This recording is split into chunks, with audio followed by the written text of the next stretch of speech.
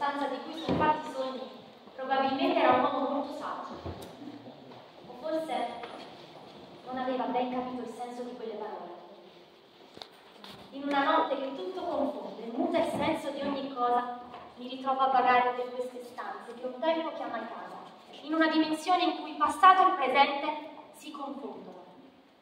Attorno a me tracce di uomini e di donne che vennero prima di me o che mossero i loro primi passi secoli dopo la mia dipartita. I primi furono i Longobardi, crearono un avamposto in questo luogo. Poi arrivarono i Normanni, vomitati dal mare a seguito di Roberto il Biscardo. Erano i San Severino, svelti di spada e rapidi di ingegno. Contribuirono più volte a cambiare le sorti di questo regno.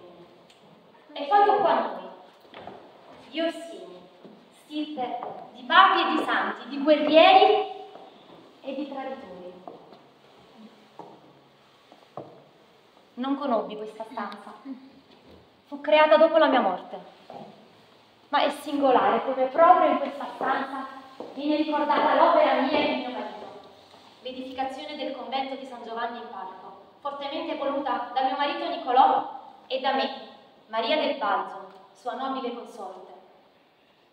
Per anni amministrammo la contea di Nola e la terra di Lago, finché la fedeltà per Francesco I di Francia costò cara a mio nipote. Tramontò così il nostro astro. Ma questa è un'altra storia. Una storia che non è fatta di sogni, ma solo di queste ignobili bassezze che tendiamo a chiamare vita.